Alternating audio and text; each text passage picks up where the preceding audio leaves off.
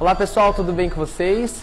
É, estamos aqui no curso de teatro de Itacoaxetuba e estamos ministrando aulas todos os dias, de segunda a quinta-feira, é, aqui na, no Museu Municipal, aqui no centro de Itacoaxetuba, e já estamos com projetos rolando, tá? Estamos com o espetáculo Alto da Compadecida, que vai se estrear da turma adulta, com essa turma aqui, que vai se estrear no final desse ano, a Vaca Lelé, e estamos também voltando com a Semana da Criança, que vai ocorrer em outubro que o projeto seria a gente trazer é, escolas municipais para estar tá assistindo a Vaca Lelé durante a Semana da Criança, né?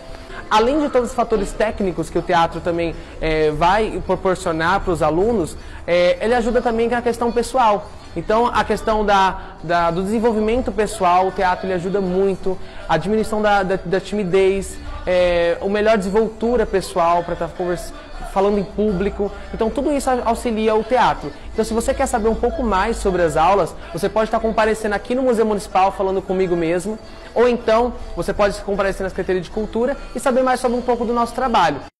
Eu sou estudante de pedagogia e eu estou no segundo semestre. É, nesse semestre a gente tem aula de arte e música, portanto veio à tona o teatro, que é uma metodologia muito importante para o ensino das crianças. Aí eu me inscrevi no teatro para que eu pudesse é, captar essa aprendizagem para poder aplicar em sala de aula. Eu sempre gostei muito de teatro, de assistir teatro, de assistir as novelas, filmes e tudo mais. E quando eu tinha 10 anos me despertou essa vontade de fazer. Eu entrei no teatro e me ajudou muito, porque eu era um pouco tímido, então me fez me soltar mais. Até em expressão corporal eu me tornei um pouco mais comunicativo.